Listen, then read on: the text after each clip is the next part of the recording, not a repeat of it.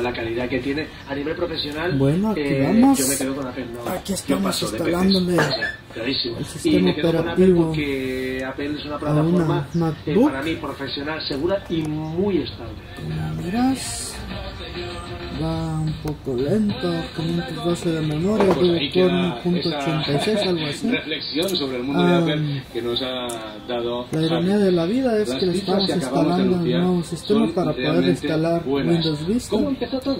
Pues eh, Uno de los clientes como yo no eh, está somos, satisfecho eh, con el músicos, somos, producto eh, del Mac, entonces lo que vamos a hacer y hace es todo esto hace 20 años instalar el y nuevo de sistema ahí, operativo eh, de la Mac, el instalar el bootcamp, y instalar Vista, bueno, otro, otro que es lo que, de estímulo de lo darle a que la gente a quiere nivel el más cliente de porque esta queremos computadora. expresar todos Bueno, nuestros sentimientos a un nivel vamos a estar grabando un poquito y más. ahí fue donde, bueno, y yo para adelante cuando en un bar in- musical que regenta aquí en Se llama instalarle el Windows Eh, Vista.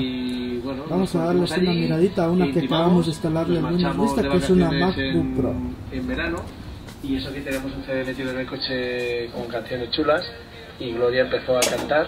Mi sorpresa fue cuando escuché a Gloria de una manera efusiva, ¿no? Aquello que, que me dio por dentro un- una sensibilidad, un resquemor que ¿Cómo digo yo y escuché a Gloria cantar y dije yo, uy, esta mujer ha escuchado, no puede ser. No puede ser. Digo, ¿me puedes cantar otra vez, por favor? No, que me da vergüenza. Empezó a cantar otra vez.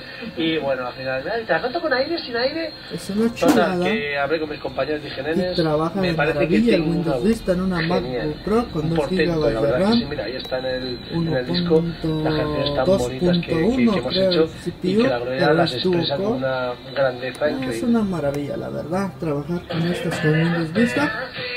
Muy rápida, ningún problema, puedes poner juegos de alta calidad.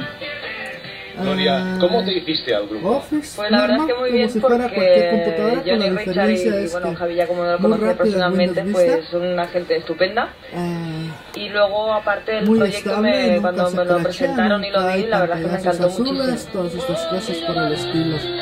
En fin, ah, Bueno, mientras nuestros amigos oyentes están escuchando esta entrevista, pueden dirigirse a vuestra web en parecer www.lamadredeltopo.es, es una chulada participar en los foros, ver los videoclips, las fotos, escuchar las canciones y leer las letras.